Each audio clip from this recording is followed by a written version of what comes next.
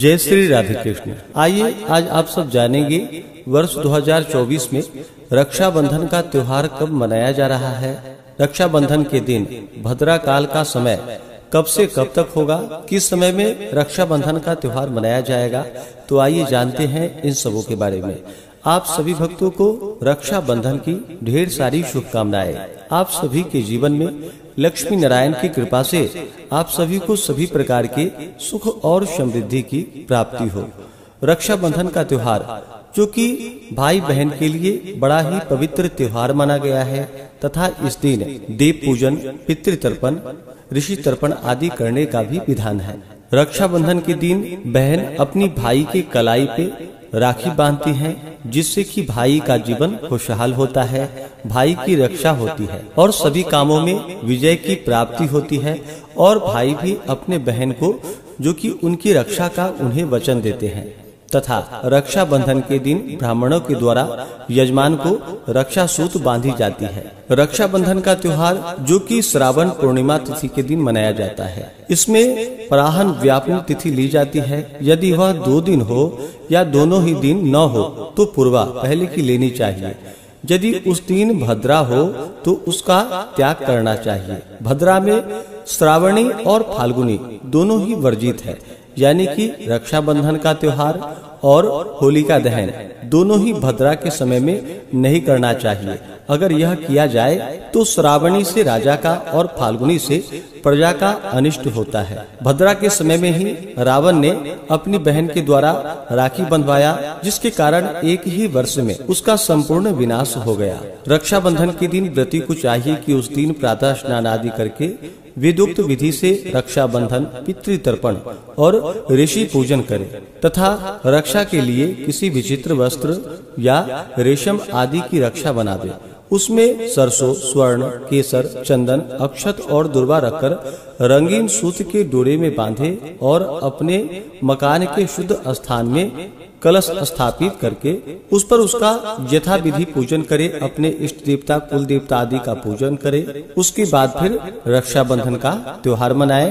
बहन अपने भाई की कलाई पे राखी बांधे, उनका तिलक करे, उन्हें मिष्ठान खिलावे तथा भाई को भी, बहन को उपहार स्वरूप कुछ न कुछ देनी चाहिए। इस प्रकार से रक्षाबंधन का त्योहार मनाने से घर परिवार सदा ही खुशहाल होता है। वर्ष 2024 में श्रावण पूर्णिमा तिथि प्रारंभ समय 18 अगस्त 2024 दिन रविवार रात्रि तीन बजकर पाँच मिनट और पूर्णिमा तिथि की जो समाप्ति है वह 19 अगस्त 2024 दिन सोमवार रात्रि ग्यारह बजकर छप्पन मिनट पे।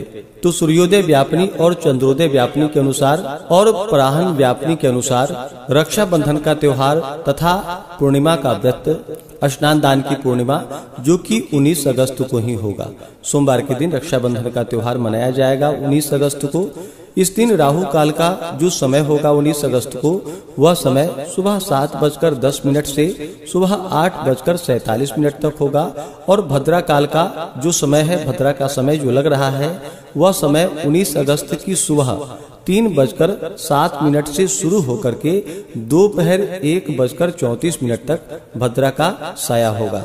इस समय में रक्षाबंधन बिल्कुल भी ना मनाए। भद्रा के समय को छोड़ करके ही रक्षाबंधन का त्योहार मनाना चाहिए। तो दोपहर एक बजकर चौतीस मिनट के बाद से आप रक्षाबंधन का त्योहार मना सकते हैं। रक्षाबंधन तिथि के दिन सूर्योदय का समय 19 अगस्त को सुबह पाँच बजकर तैतीस मिनट होगा, सूर्यास्त शाम छह बजकर उनतीस मिनट होगा। नक्षत्र जो कि श्रवण नक्षत्र सुबह आठ बजकर ग्यारह मिनट तक होगा, उसके बाद धनिष्ठा नक्षत्र जो कि अगले दिन सुबह पाँच बजकर छियालीस मिनट तक होगा। योग जो कि शोभन योग होगा, रात्रि बारह बजकर छियालीस मिनट तक होगा।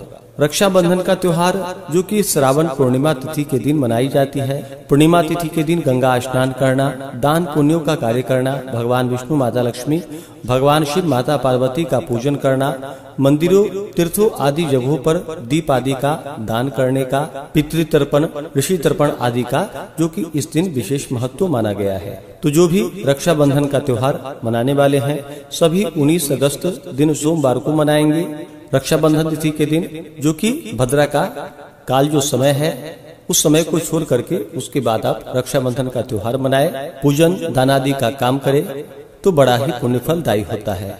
तो आशा करता हूँ कि यह जानकारी आपको अच्छा लगा हो। ऐसे ही ज्ञानवर्धक जानकारियाँ प्राप्त करते रहने के लिए, व्रत पूजा के बारे में जानने के लिए, कथा को सुनने के लिए, चैनल पे अगर आप पहली बार आए हैं तो चैनल को लाल बटन दबा करके सब्सक्राइब करें, साथ में बेल आइकन घंटी को दबाएँ, ताकि आने वाली वीडियो का नोटिफिकेशन आपको समय से मिलता रहे।